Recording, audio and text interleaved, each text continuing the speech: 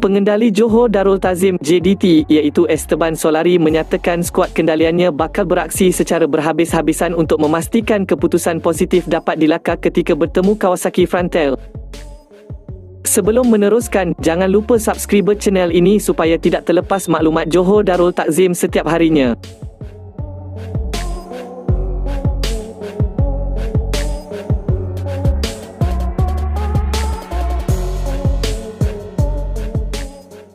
JDT selaku calon tunggal Malaysia bakal memulakan kempen pertama mereka hari ini untuk aksi peringkat kumpulan satu bagi kejohanan AFC Champions League ACL 2023 di Stadium Sultan Ibrahim SSI Iskandar Puteri. Beraksi di laman sendiri, pastinya Harimau Selatan ingin memanfaatkan peluang sebaik mungkin untuk memastikan keputusan positif mampu dilakar mereka terutama sekali di hadapan ribuan penyokong setia JDT yang sudah tentu akan memberi sorakan padu buat kelab tersebut. Walaupun begitu, kelab gergasi Malaysia ini juga bakal menghadapi cabaran besar kerana bakal memulakan kempen tersebut untuk menghadapi salah satu pasukan ternama di Asia iaitu Kawasaki Frontale.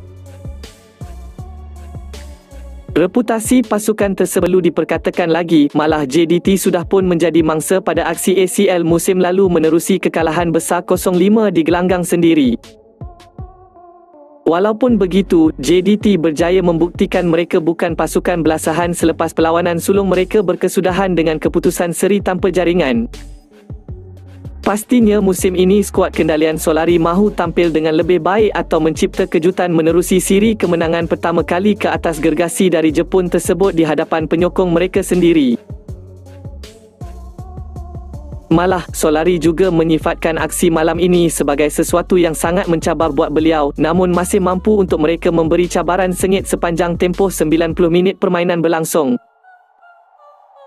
Kata pengendali berpengalaman tersebut, saingan ACL jelas sesuatu yang berbeza jika dibandingkan aksi peringkat domestik dengan perubahan pastinya dapat dirasai pada corak permainan serta intensiti perlawanan itu sendiri kepada para pemainnya. Walaupun begitu, segala persiapan yang dilakukan beliau bersama pasukan setakat ini berjalan dengan sangat lancar selain dua tonggak serangan JDT sebelum ini dihantui isu kecederaan sudah pulih iaitu Fernando Forestieri serta Diogo Luis Santo.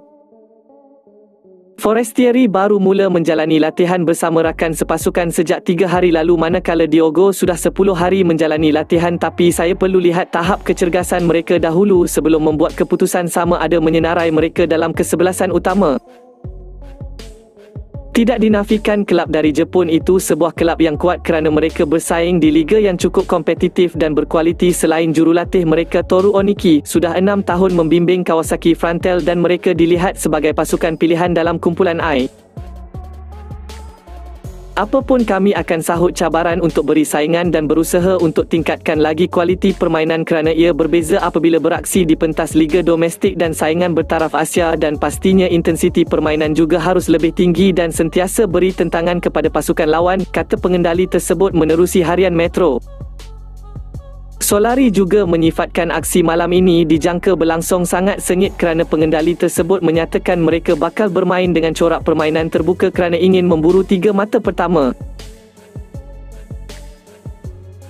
Berada dalam kumpulan I, JDT bukan sahaja bakal berdepan Kawasaki Frontale malah dua lagi pasukan iaitu BG Phantom dari Thailand serta wakil Korea Selatan Ulsan Hyundai.